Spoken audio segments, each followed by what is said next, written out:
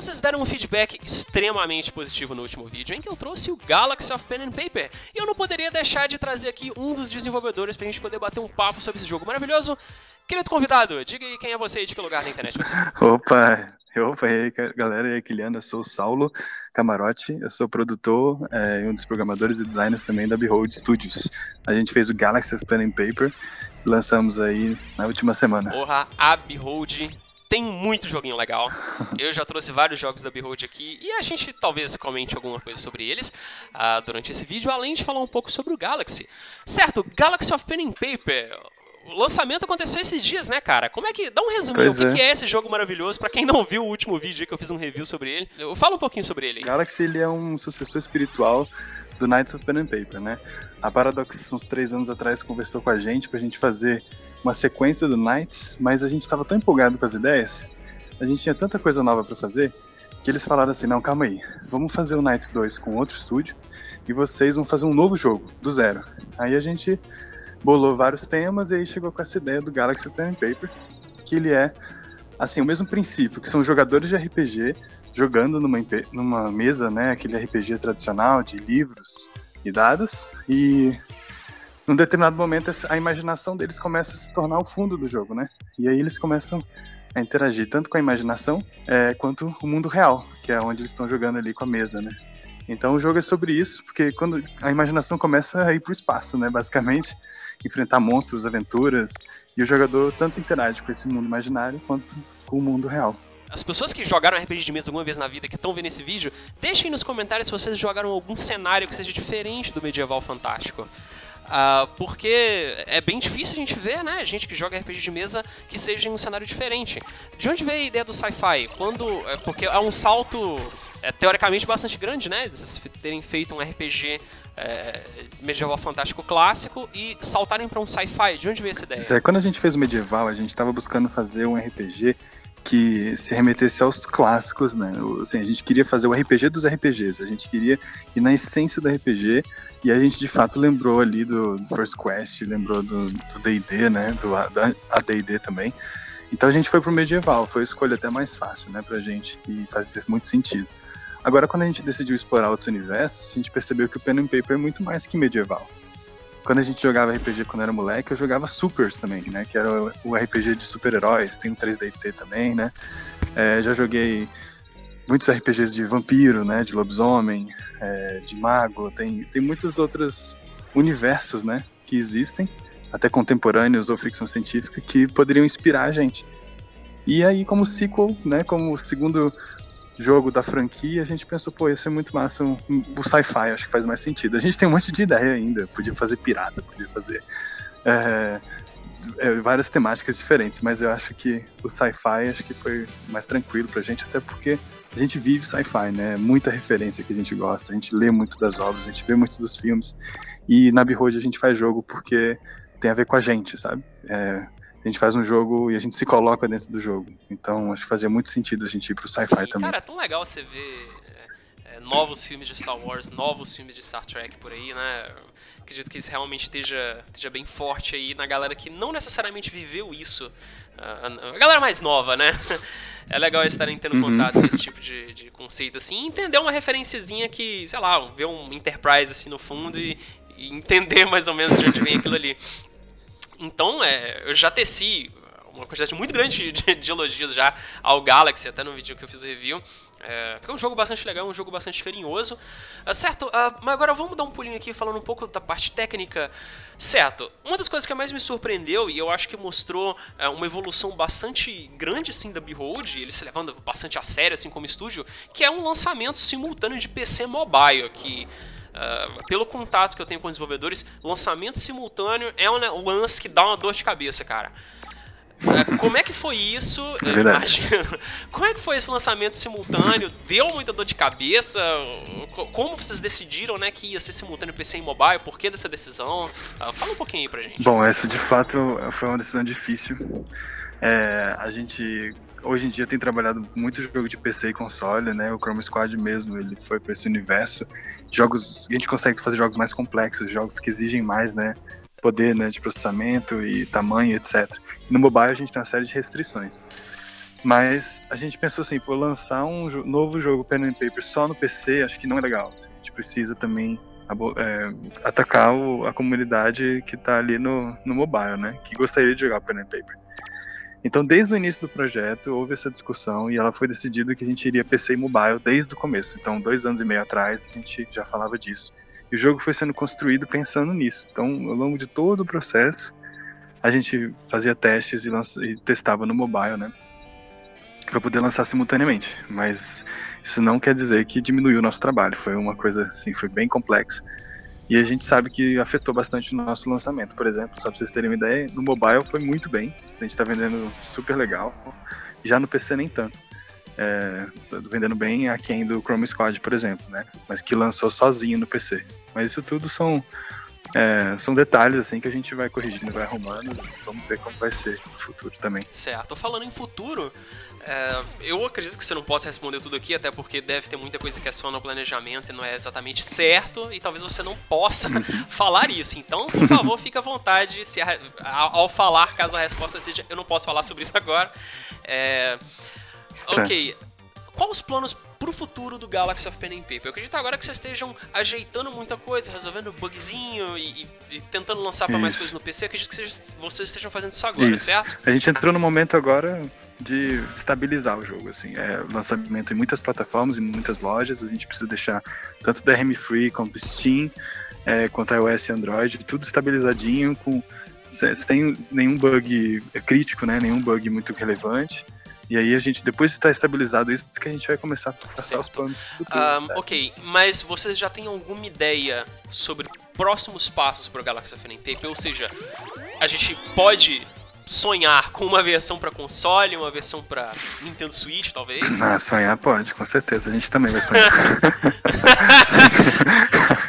a gente, okay. a gente quer exatamente isso, assim, é expandir o no futuro expandir para outras plataformas, com certeza Nintendo Switch, Xbox, PlayStation 4. É, mas a gente ainda não, não iniciou o trabalho nessa, nessa empreitada, né? É, a gente vai ter que buscar parceiros, a gente já tem alguns já é, fechados, mas é, ainda tem muito caminho pela frente para a gente poder anunciar isso de fato. É, e a gente ainda quer criar mais conteúdo, né? A gente percebeu que jogo se a gente simplesmente lança o jogo e pronto e achou que acabou, né? A gente perde muito, perde comunidade, perde a atração do jogo, né? Squad a gente tem trabalhado ainda, lançando coisas novas. Não sei se vocês viram, um mês atrás a gente lançou um patch novo, Director's Cut, né? Que mudou bastante coisa.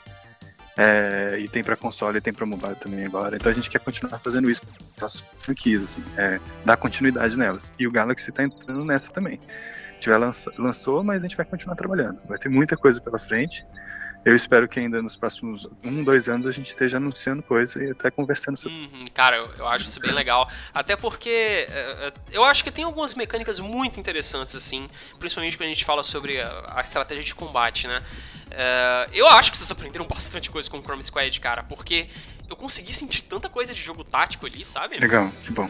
Eu não sei. O quanto, o quanto vocês se inspiraram nos seus jogos anteriores pro, pro Galaxy? É, qual a bagagem veio dos seus jogos anteriores uh, pro Galaxy? É total, assim. A gente fica o tempo todo falando do Chrome Squad durante o projeto do Golf, sabe? É, a gente fica falando do Chrome Squad porque o Chrome Squad foi um projeto complexo. A gente se aventurou em muitas coisas que a gente desconhecia, né? É, então a gente está sempre trazendo esse aprendizado pro, pro Galaxy também. Então foi assim, não tem como. A gente faz um jogo de Game Jam no final de semana, a gente já leva aprendizado. E eu acho que, eu até brinco assim, falo que a Behold não tem nada demais, assim. É, a gente não faz jogos grandiosos, não faz jogos fenomenais. O que a gente faz é constância. Todo ano a gente tá lançando um joguinho novo e pronto. a gente vai aprendendo um com o outro e vai cada vez melhorando um pouquinho mais. É só isso. É, já são 17 jogos lançados, né? Então, cada jogo que a gente lança, a gente aprende um pouquinho. É, é uma, é uma bela de uma estrada, cara. 17 jogos lançados, é bastante coisa. Uh, agora, isso não é bem uma pergunta, mas eu queria pelo menos tecer alguns elogios aqui quanto à questão de estratégia, né? Caramba, que legal, porque eu tava no último boss E eu, eu senti que o meu time tava tão sincronizado, sabe? Uh, que eu tava enfrentando aquele último boss. Tá, tá certo. Esse cara ele tem um escudo muito insuportável. Então eu vou fugir, eu vou clicar na galinhazinha aqui. E eu preciso remanejar algumas habilidades. E é interessante como é que vocês colocaram uma liberdade tão grande de customizar os personagens desde o início. Uh, uh, porque ele meio que libera todas as habilidades ali pra você. A habilidade mais cara, ela não é tão mais cara assim. Dá pra você conseguir pegar ela logo no começo Uhum. ali. E é interessante Uhum. como é que basicamente você tem uma árvore de habilidades que não tem ramificações, né? Você pode pegar os poderes que você quiser ali logo de cara, alguns um pouco mais caros que os outros, mas esse preço não é uma dificuldade. É, dá pra você fazer isso bem no começo do jogo, desbloquear alguns poderes que você quer. E muitas vezes você tem que remanejar esses poderes. ah, porque o entrosamento entre os personagens pode ficar diferente, né? Desbloqueia uma classe nova pra você e aí te abre uma gama de possibilidades de interligar ali alguns personagens, né? Um personagem que deixa o inimigo num estado em específico e outro aproveita bem quando o inimigo tá naquele estado. Ah, De onde veio isso, cara? Porque esse entrosamento de personagem, é, é, eu não vi. Ele não é tão presente assim no Chrome Squad, ele até é, né, na verdade, ah, mas não exatamente dessa forma, né? De onde veio isso? A ideia de fazer um, um gameplay é, baseado em status dos personagens que, querendo ou não, os, os seus. Os seus, os seus bonecos ali dentro do jogo é, a se aproveitarem bem disso. De onde veio as inspirações pra fazer exatamente essa carga tática? que Aham, tem? bom, esse foi um, um trabalho da nossa equipe, né? Bem complexo, né? Tanto de designers e pessoas que entraram, pessoas que saíram, assim, foi Imagino. o projeto já passou mais de 15 pessoas diferentes, muitas contribuindo para essa parte de design também. Mas assim, o objetivo é fazer um RPG mais denso, sabe? Porque é, é muito comum que um RPG ele seja simplesmente uma progressão aritmética simples. Ah, eu dou 10 de dano agora, depois eu vou dar 15 de dano, depois eu vou dar 25 de dano, aí depois eu dou 50 de dano, e aí pronto, é só isso. né? Os monstros têm mais vida e fica parecendo que você sempre tá fazendo as mesmas coisas, né?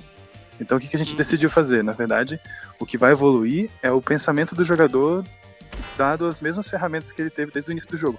né? Existem vários jogos hoje que fazem isso, que a progressão é leve, só que o que, a- o que, é, a- o que progride principalmente é o aprendizado do jogador em usar aquelas ferramentas.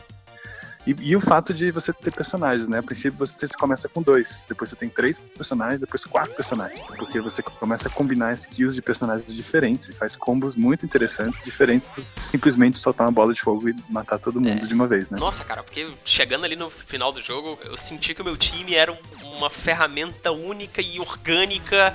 Tá, aquele ali vai deixar o inimigo pegando fogo, e, e aí o meu DPS ele só dá crítico quando o inimigo tá queimando, e todos os itens que ele tem são focados em aumentar o dano quando é um ataque crítico, sabe?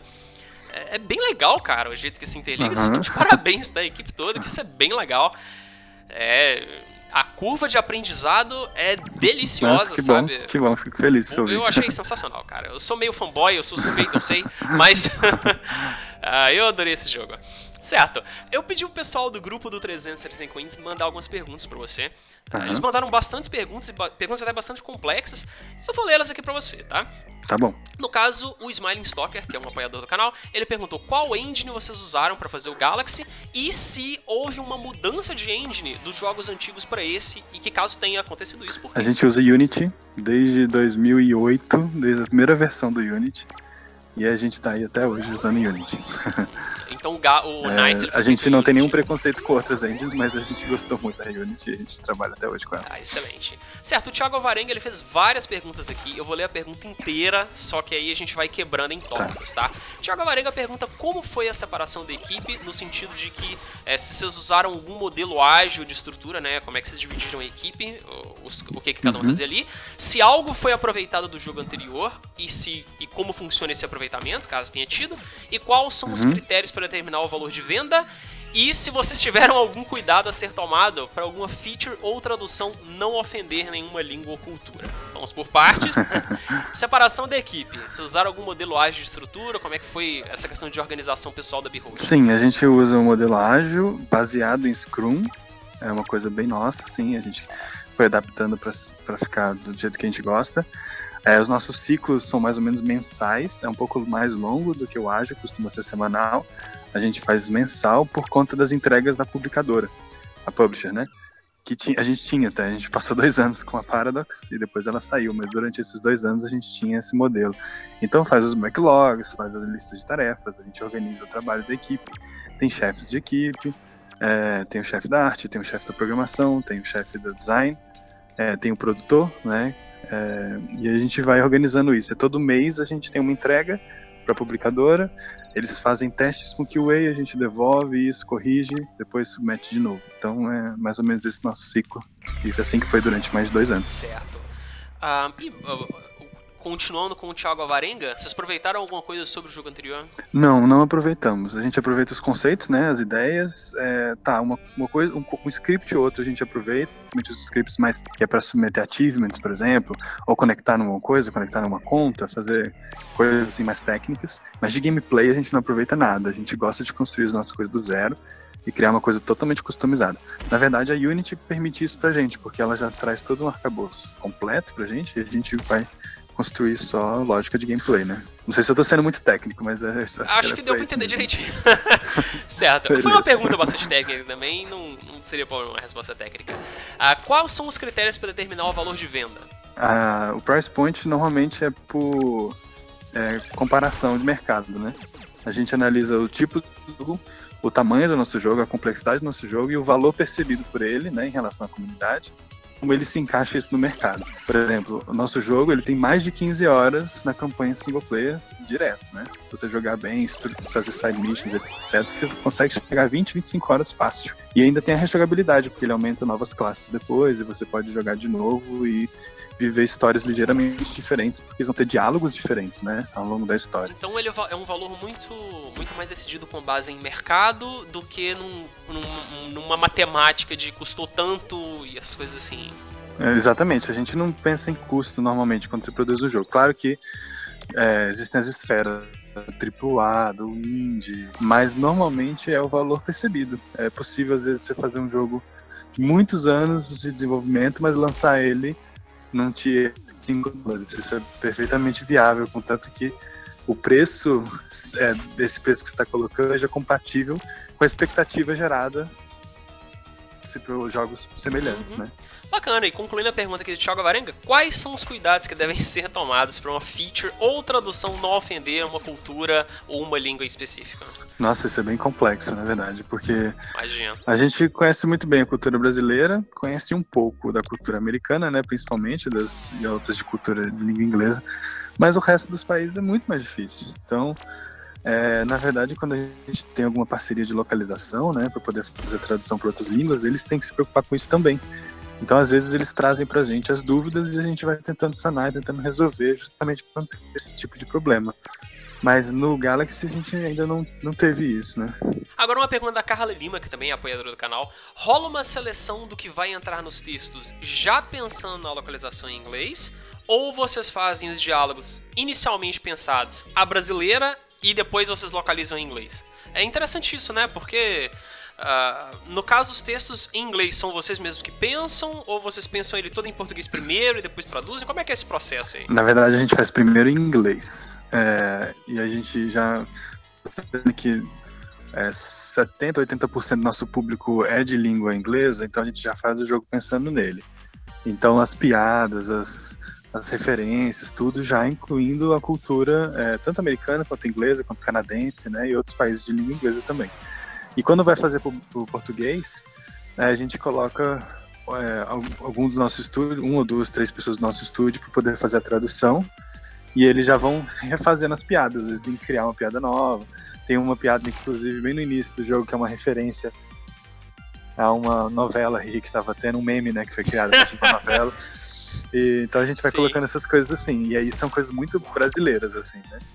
É, então é na hora Sim, de traduzir, mas a gente faz tudo internamente, o inglês e o português. As outras línguas que a gente contrata. Mais uma pergunta de um apoiador aqui, que é o Ramon Guimarães Barbosa. É como é criar a transição do cenário 2D para o 3D? Por exemplo, a batalha dos personagens é, é uma e a, da, a, batalha de naves é outra. Ele fez essa pergunta, uhum. eu conversei um pouco com ele depois. Ele está mais interessado na questão do ponto de vista técnico, né? Sim. É, de quais são os empecilhos aí do 2D para o 3D, essas coisas assim. Legal, legal. Bom, na verdade, o nosso 2D 2D, ele é 3D. como a gente trabalha com uma engine que ela é 3D, né? Toda a renderização 2D ela acontece no, no, nos 3D, tem um espaço lá, tridimensional, que a gente põe como se fosse um teatro, assim, os sprites todos de frente para a câmera, dando a sensação que é um jogo 2D, mas na verdade ele tem uma, uma, uma profundidade também ali, tem uma série de coisas 3D. Então, a transição, falando tecnicamente falando, não existe, ela sempre foi 3D. Olha só, isso, isso vai ser uma é. surpresa é. para muita gente. eu, eu vi, o, se eu não me engano, eu não tenho certeza, mas acho que é o Danilo da Dry Mesh ele mostrou um making off do Blazing Chrome. Eu não tenho certeza se é isso. Aqui uh -huh. tem um CGzinho que acontece e meio que ele só gira a câmera e mostra que realmente é como se fossem várias folhas de papel. Isso, várias folhas, uma na exatamente. frente da outra. É bem assustador, né? é, mas é isso mesmo, a gente trabalha no, nos planos, assim, né? Mas dentro do universo 3D. E aí, quando vai, você coloca um objeto em 3D, põe umas partículas, os efeitos que são 3D, eles funcionam naturalmente, porque sempre esteve no 3D. Olha só. E tá aqui agora uma pergunta do Douglas Aquino. Eu queria saber se a equipe joga RPG Pen and Paper nos bastidores e quais são os sistemas, cenários favoritos. É, ele também queria saber se os jogos criados por eles se inspiram em campanhas de RPG que foram jogadas por eles ou criadas, é, ou eles inventam um conteúdo específico para o jogo. Uh, vocês jogam RPG de papel e caneta? Sim, jogamos RPG, sim. é, eu diria que eu jogava até mais antigamente, mas a galera, tem uma galera da Behold que ainda joga até hoje, semanalmente, assim. É, a gente gosta muito de, de, Dungeons and Dragons mesmo, clássico, né? É, tá, joguei muito te, é, terceira edição, estamos jogando a quinta edição também agora, mas um dos sistemas que a gente mais tem se interessado é o Dungeon World, que é, me chamou muito a atenção pelas soluções narrativas que eles têm, assim, de resolver os problemas e as tensões, né? Deixando os jogadores também participando da criação da história. Eu achei isso fantástico. Olha que é, Pois é. Mas a gente usa as, não só as referências. Assim, de vez em quando acontece de ter uma história nossa que a gente viveu e ela entrar no jogo. Mas não é bem assim que a gente faz normalmente. A gente faz uma coisa de uma maneira mais abstrata a gente entende o que tipos de situações acontecem num RPG e a gente vai recriando elas, né? Então elas acabam é, que ficam comuns a qualquer outro jogador de RPG, né? Não necessariamente só o nosso grupo de RPG. Agora uma pergunta do Valdir. Tem alguma vaga na Behold Studios? a vaga sempre abre, sempre fecha toda hora, assim, né? É, a gente sempre pede pro pessoal mandar os currículos pro, pro nosso e-mail, né, de, de contato é, ou mandar pelo site também pode ser. E é uma coisa assim, todo, todo mês abre ou sai alguém ou entra alguém, e aí é um negócio bem, bem rico, assim. Claro que a gente tem uma equipe que fica mais tempo, né? Mas é possível aí que quando a gente começar um projeto novo, tem gente entrando mesmo, né? Na Behold. Ótimo, vou deixar o link, o link do site da Behold aí na descrição, por favor. Quem sentir a vontade, vá lá na parte de contatos e manda, é, manda o seu currículo para lá. Isso. E para finalizar, uma pergunta muito interessante do Guilherme Lopes. Você prefere enfrentar um pato do tamanho de um cavalo ou 100 cavalos do tamanho de patos? Nossa, com certeza um pato do tamanho de um cavalo. Aí, tamo junto. Quando você põe 100 aí, já era o negócio. Pois é, não, isso, cara, essa pergunta rolou uma discussão no, no pessoal aqui que tava conversando no Discord. tô contigo, tô contigo. Até um porque acho que. Até porque um pato do tamanho de um cavalo acho que vai ser meio lento, assim, né? então acaba que a gente consegue dar uma escapada dele. É isso aí, deixem suas opiniões aí nos comentários do vídeo se você prefere enfrentar um pato do tamanho de um cavalo ou sem cavalos do tamanho de patos. Então, senhores, esse foi o Salma Camarote da Behold Studios. Quer deixar um último recado? Dá um tchau, pessoal? É isso aí, muito obrigado, galera. Obrigado, Kiliano, aí, pela oportunidade. Espero que vocês joguem Galaxy of Pen and Paper. É, tem no Steam, tem no iOS, tem Android. É, e é isso, deem review lá, sincero, sobre o que vocês acharam do jogo. Isso conta muito pra gente lá nas plataformas. Valeu! É uma coisa que eu sempre falo, sempre acho é, bastante pertinente falar. Se você gostou do jogo, deixe um review é, positivo no Steam. Se você está procurando o game, por favor, não deixe de colocar ele na wishlist, isso tudo ajuda muito o desenvolvedor. É, e se você não gostou do jogo, acha que tem algum defeito, alguma coisa assim, para desenvolvedores independentes, vamos dar uma colher de chá em vez de colocar um review negativo, manda um e-mail pro desenvolvedor, conversa com ele, nós, é, desenvolvedores indies, somos todos muito acessíveis. Saulo Camarote, muito obrigado pela participação, eu vou deixar todos os links na descrição, todos os links da Behold, dos jogos deles, e você tem que jogar Galaxy of Pen and Paper.